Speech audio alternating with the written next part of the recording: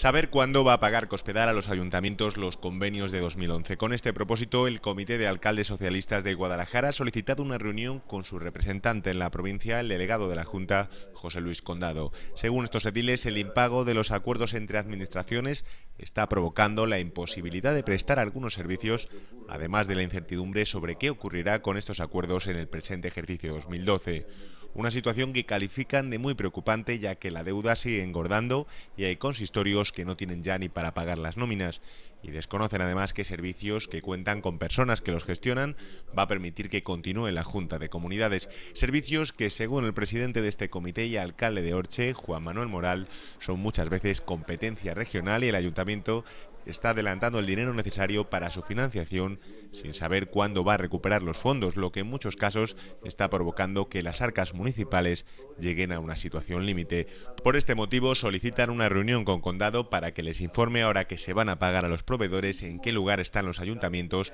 dentro de las previsiones de pago de la Administración regional. Moral señala además que la situación de incertidumbre que están viviendo los alcaldes socialistas será común con los del Partido Popular, ya que aseguran no querer pensar que se esté pagando de forma sectaria únicamente a los ayuntamientos gobernados por alcaldes populares.